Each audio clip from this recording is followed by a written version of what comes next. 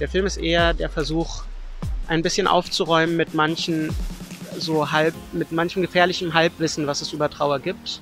Also, dass man jemanden loslassen muss, dass man erstmal die eine Liebe abgeschlossen haben muss, bevor man eine andere anfangen kann.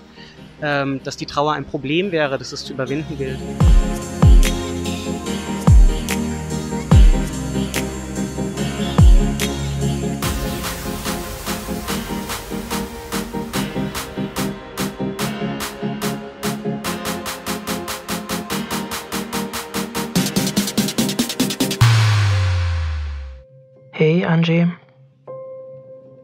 Heute hättest du Geburtstag gehabt, dein 31.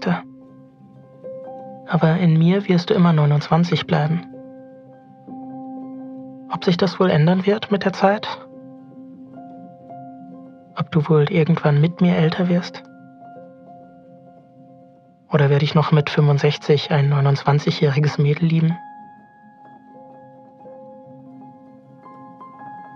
Ich habe ein Bild von uns in meiner Wohnung aufgehangen. Manchmal, wenn ich lange auf das Bild schaue, dann spüre ich dich.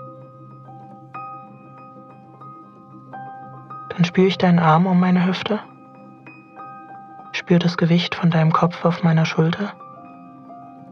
Und wenn ich meinen Kopf zur Seite neige, dann spüre ich dort deinen Widerstand. Ich spüre dich in diesem Moment so klar, als wärst du wirklich bei mir. Ähm, hallo Erik, schön, dass du hier bist und ähm, schön, dass du dich ins Berlin, ins schöne Berlin gewagt hast, hier zum Märchenbrunnen. Ähm, dein Film Wer wir gewesen sein werden. Ich habe den gesehen und ich muss erstmal sagen, ein super emotionaler, aber auch sehr, sehr persönlicher Film. Also ich habe so ein bisschen wie so ein Ratgeber ähm, aufgefasst. Und ich muss sagen, dass das Problem, glaube ich, für mich ist, dass ich niemals in dieser Situation war. Und ich habe versucht, mich in diese Situation hineinzuversetzen und habe einfach gemerkt, das, das kann ich einfach nicht. Ich glaube, wenn man sowas nicht selbst erlebt hat, dann kann man überhaupt nicht nachvollziehen, wie das ist. Ich habe mich gefragt, wie oder was dein ausschlaggebender Punkt war, an dem du gesagt hast, du möchtest gerne diese Archivmaterial zusammenschneiden und diese persönliche Geschichte über dich und deine Beziehung mit deiner Partnerin oder deiner verstorbenen Partnerin erzählen. Ja, also im Grunde ging alles los nicht mit dem Wunsch, einen Film zu machen, sondern als ich nach drei Wochen ungefähr aus dem Krankenhaus kam nach dem Unfall, habe ich als allererstes mal einfach alles, alles an Material, was es von Angie und von mir gab, gesichert. Also jedes Foto, jedes Video und auf fünf Festplatten kopiert, damit bloß nichts verloren geht. Und dann habe ich mit der Zeit angefangen, mir das mal anzuschauen, weil ich unglaublich viel gedreht habe zu Lebzeiten und jede neue Technik an Angie getestet habe. Ich habe mir es aber nie angeschaut. Und jetzt saß ich zu Hause und diese Aufnahmen waren im Grunde ja mein Weg, Angie nochmal zu sehen, Angie nochmal zu hören und nochmal sie durch das Material neu zu entdecken. Dann habe ich vereinzelt angefangen, Ausschnitte mal zusammenzustellen und zu schauen, was passiert und gleichzeitig aber auch meine Trauer zu dokumentieren. Erstmal einfach nur für mich. Denn ich habe mich nach dem Unfall so allein gefühlt wie noch nie in meinem Leben.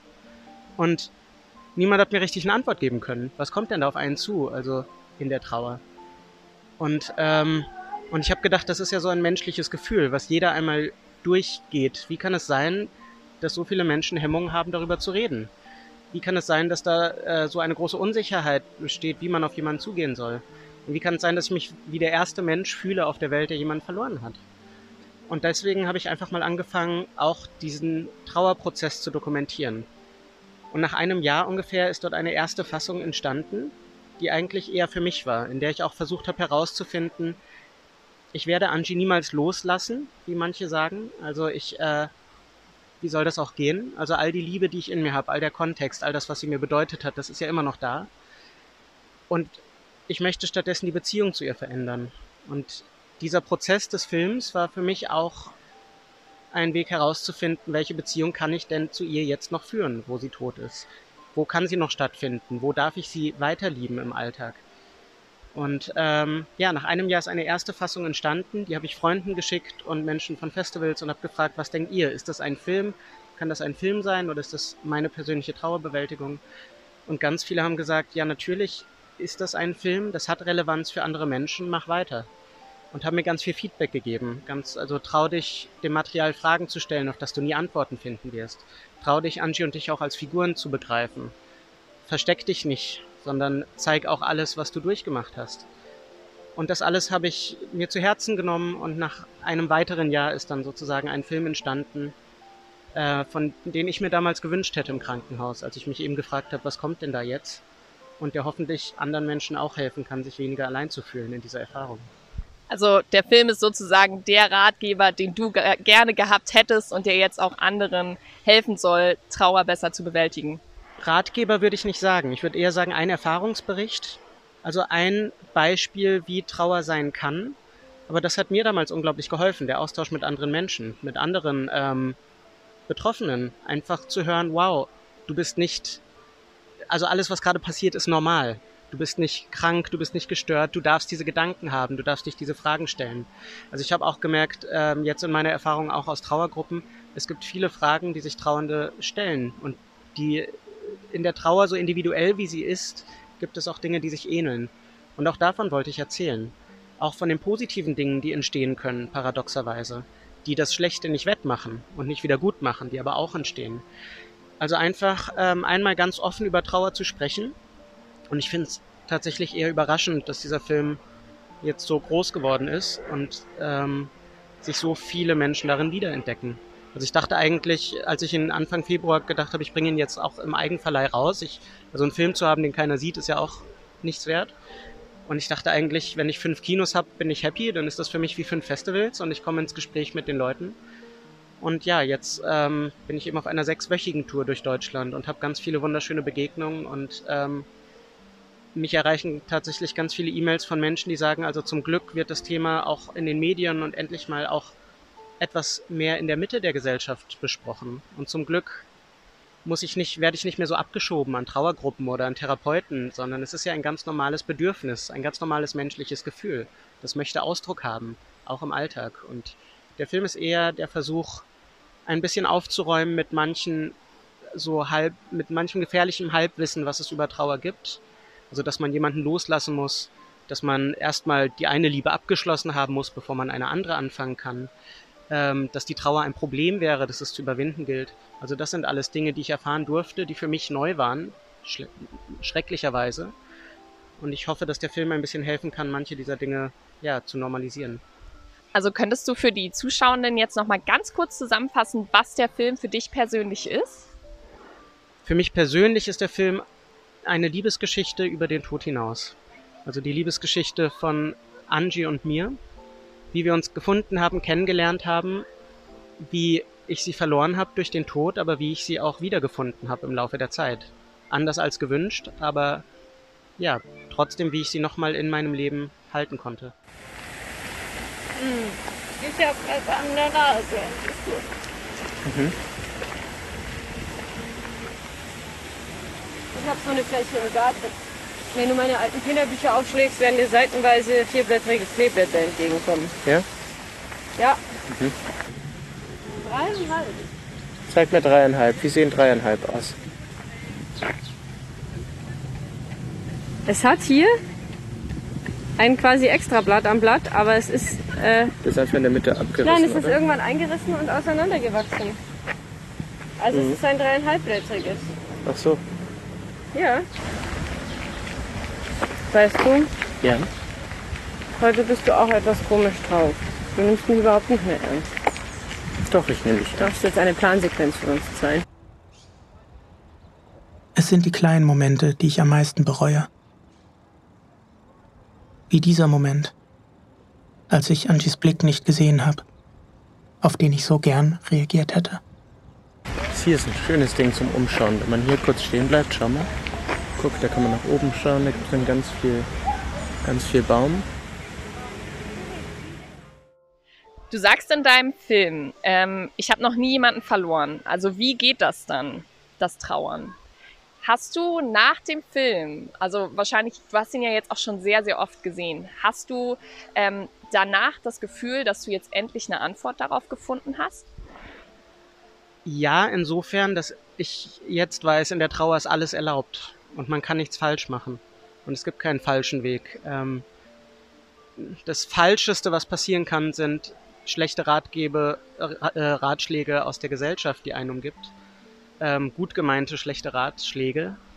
Aber tatsächlich war auch das ein Versuch in diesem Film, also ähm, mich auch wirklich in schwachen Momenten zu zeigen, ähm, in peinlichen Momenten, in Momenten, für die ich mich schäme, auch um zu sagen, in der Trauer ist alles erlaubt und man kann nichts falsch machen. Und ich glaube, das Beste, was hilft, ist, äh, mehr darüber zu sprechen, sich auszutauschen und diesem Bedürfnis nach Austausch auch mehr Raum zu geben. Ähm, und zwar, als du entschieden hast, den Film zu machen, du meintest gerade drei Wochen, nachdem du aus dem Kranken Krankenhaus kamst, hast du das Archivmaterial zum ersten Mal angeguckt. Ähm, aber als du dann entschieden hast, diesen Film zu machen, wie haben denn deine Familie und die Familie deiner verstorbenen Partnerin darauf reagiert? Also kam da viel, naja, eher Unwohlsein oder haben sie doch gesagt, ja, das ist eine sehr gute Idee? Oh. Ja. Also ähm, meine Familie wusste sowieso nicht so ganz, wie sie mit mir umgehen soll, natürlich, wie es auch vielen Angehörigen geht. Also diese Unfähigkeit, was kann ich jetzt sagen, wie soll ich mich überhaupt verhalten? Ähm, deswegen haben die mich natürlich einfach erstmal machen lassen. Und ähm, genau, Angies Familie ähm, habe ich natürlich auch im Vorfeld eingeweiht. Und ähm, es ist auch so, ich hätte diesen Film gar nicht machen dürfen. Aus ethischen und legalen Gründen, ohne das explizite Einverständnis ihrer Mutter weil auch das Recht am eigenen Bild geht für zehn Jahre an die Erben über. Das heißt, hätte ihre Mutter mir verboten, irgendein Bild von Angie zu zeigen, hätte ich diesen Film nicht zeigen dürfen. Aber auch sie sagt, ja, das hat einen Wert für andere Menschen. Und ähm, sie trauert anders, äh, auch anders als ich, aber sie hat den Film, also sie wird sich den Film nie im Kino anschauen, hat sie gemeint, aber sie hat den Film auch in zwei Anläufen geschaut und hat gesagt, sie hat auch ihre Angie darin wiedergefunden. Und das war sehr schön. Und auch ihr Vater, ähm, Genau, über den ich ja auch eine nicht so positive Geschichte im Film erzähle. Also er wollte Angie zum Segelfliegen abholen, kam aber einfach nicht. Und das war so die Beziehung, von der Angie oft erzählt hat. Aber auch ihn habe ich im Vorfeld gefragt, ob ich das erzählen darf. Und er hat gesagt, ja natürlich, wenn Angie das gesagt hat, dann ähm, erzähl davon. Und er hat den Film zweimal im Kino gesehen und mit ihm war ich danach essen. Und auch ich glaube, er ist auch sehr froh, dass es da einen Ort gibt, an dem auch er Angie nochmal hören und sehen kann. Der Film läuft ja jetzt schon ein bisschen im Kino, wie du mir am Anfang erzählt hast. Wie ist es denn für dich, wenn du jetzt immer wieder über eure Beziehung reden musst, ähm, wenn du das alles nochmal aufarbeitest? Wird es leichter mit der Zeit oder wie ist das für dich? Absolut. Also ähm, das Reden über das Unsagbare hilft natürlich. Also das war ja auch der Prozess des Films. Der Versuch, Worte zu finden für ein unbeschreibbares Gefühl damit bemächtigt man sich ja Dingen und man bemächtigt sich auch einer Angst vorm Unbekannten. Und ähm, darüber zu sprechen hilft natürlich auch, die Dinge mehr zu realisieren, seinen Frieden damit zu schließen, sie zu akzeptieren. Ähm, und inzwischen ist es so, dass ich, äh, ja, ich glaube, ich höre keine Frage, es gibt keine Frage, die ich jetzt noch nicht gehört oder beantwortet habe. Und natürlich ähm, wird auch das mit der Zeit leichter. Ähm, genau.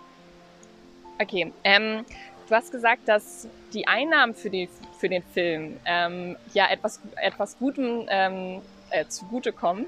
Jetzt habe ich den Satz irgendwie ein bisschen komisch formuliert, aber die, du spendest ja die, alles, was sozusagen für den Film eingenommen wird. Möchtest du uns davon mal ein bisschen erzählen? Ja, das war also der Film ist ja außerhalb eines jeden Systems entstanden, ohne Förderung, ohne Sender, ohne alles. Ähm, und ich bringe ihn jetzt auch im Eigenverleih ins Kino, auch eine neue Erfahrung. Äh, aber für mich war auch klar, ähm, dass dieser Film ähm, ja kein Film ist, mit dem ich Geld verdienen werde oder mit dem ich mich bereichern werde, sondern dieser Film wurde gemacht, um ja über die Themen Tod, Liebe, das Leben zu sprechen, äh, nicht um mich zu bereichern. Und auch, ich habe auch mit Angies Mutter ausgemacht, dass alle Gewinne, die der Film erzielt, und die gibt es schon, dass die gespendet werden an Trauereinrichtungen und Trauerinstitutionen. Ähm, Genau, viele, die mich jetzt auch begleiten zur Kinotour. Also ich versuche immer in den Filmgesprächen danach Vertreter vom zum Beispiel Argus e.V. für Suizidhinterbliebene, vom Fight e.V. für verwaiste Eltern und ähm, Geschwister von den Nikolaides Young Wings Stiftung in München für junge Trauernde. Also immer Partner dabei zu haben, auch um Anlaufstellen und weitergehende Informationen anbieten zu können für die Menschen, die im Kino sind, und das eventuell brauchen. Und ähm, ja, der Film, was ja einspielen wird, wird am Ende auch gespendet.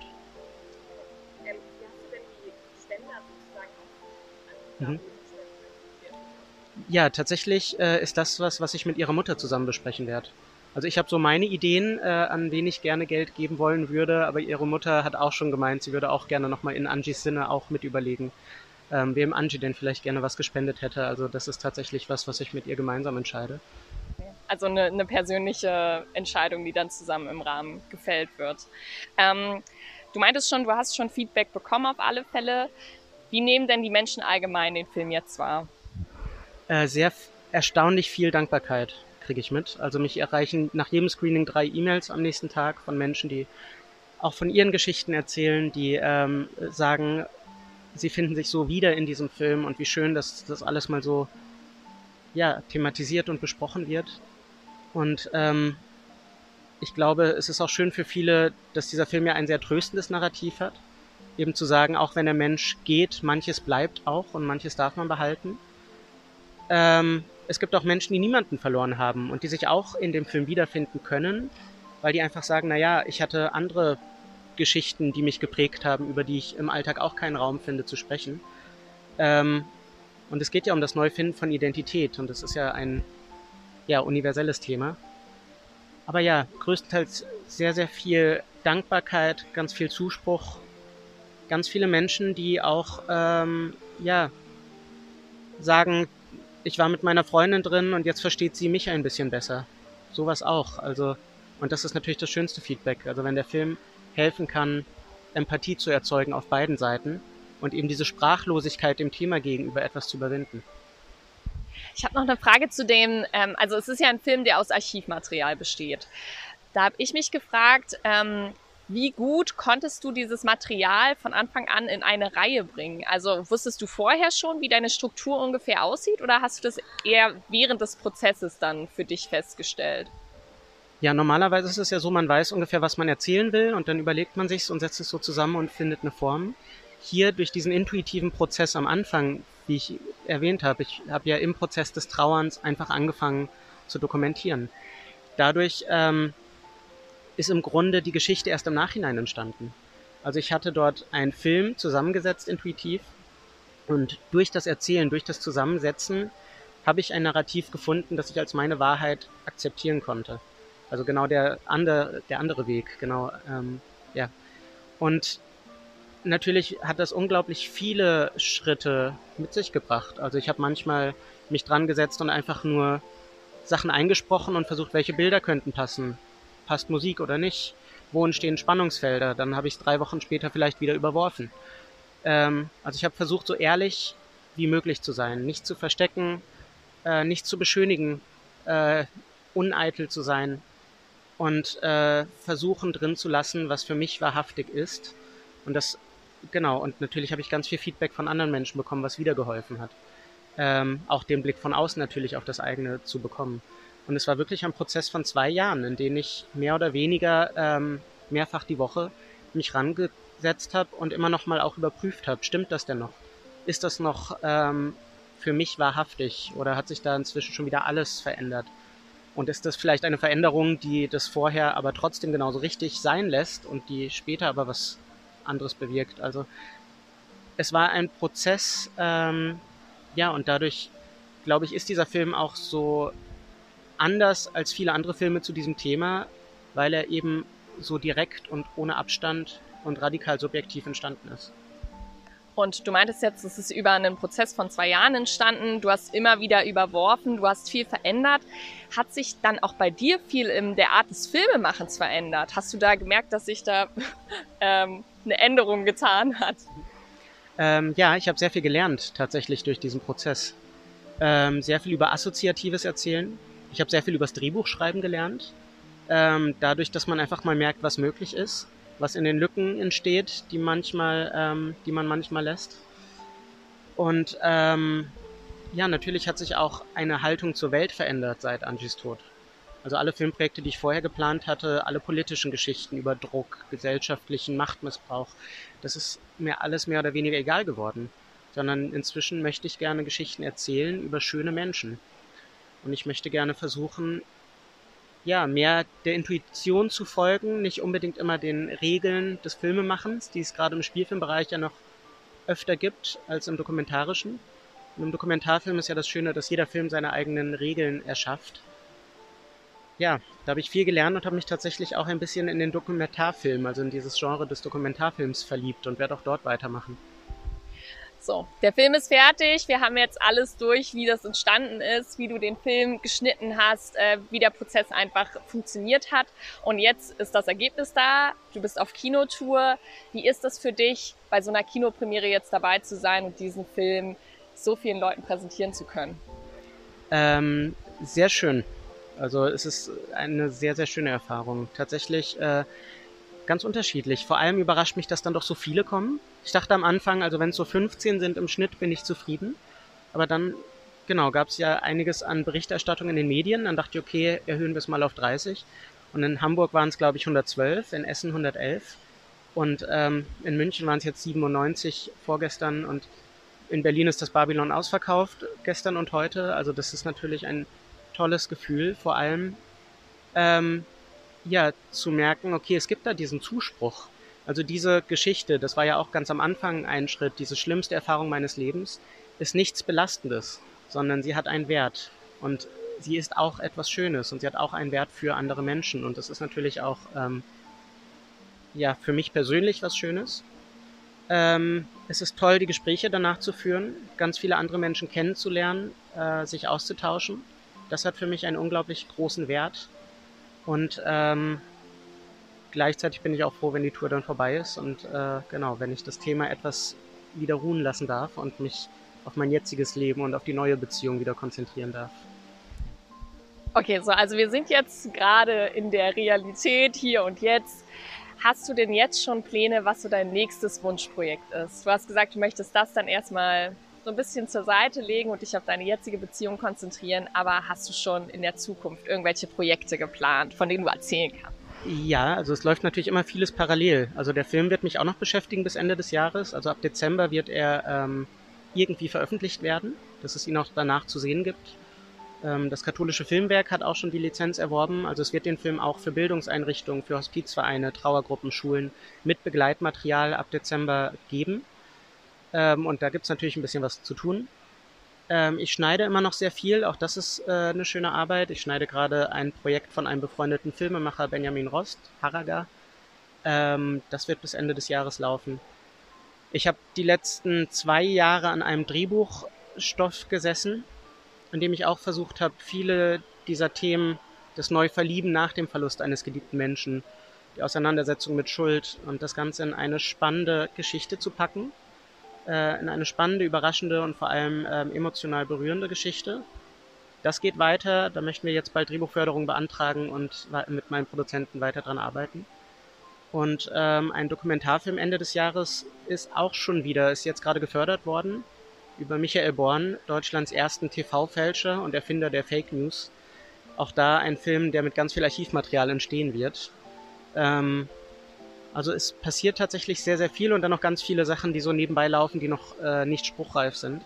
Aber es geht auf jeden Fall irgendwie wieder weiter. Und ich hatte auch das Gefühl, dieser, dieser Dokumentarfilm, der war notwendig, dass ich zwei Jahre wirklich mal radikal den Blick auf mich lenke und wieder herausfinde, wer ich jetzt eigentlich noch sein kann.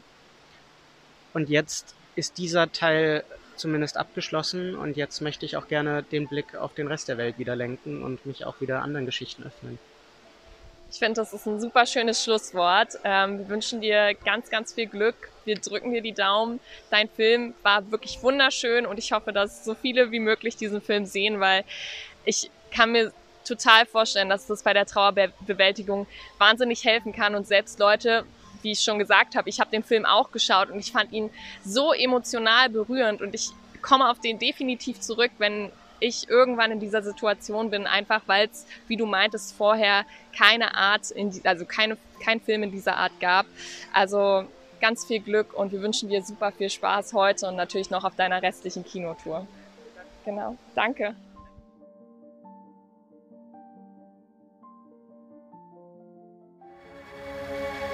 Erst im Krankenhaus sagt man mir, dass Angie den Unfall nicht überlebt hat.